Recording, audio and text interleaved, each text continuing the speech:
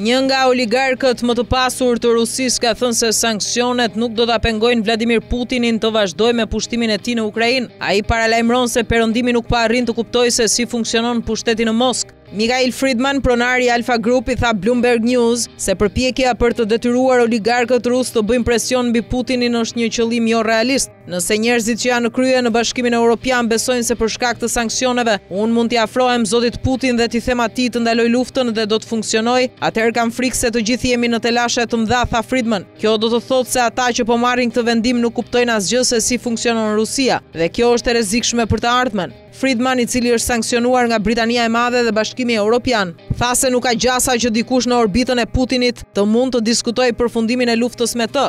Distanca e fuqisë midis zotit Putin dhe kujtdo tjetër është si distanca midis tokës dhe kozmosit, tha Fridman. T'i thuash ndonjë gjë Putinit kundër luftës për këdo do të ishte një lloj vetëvrasjeje.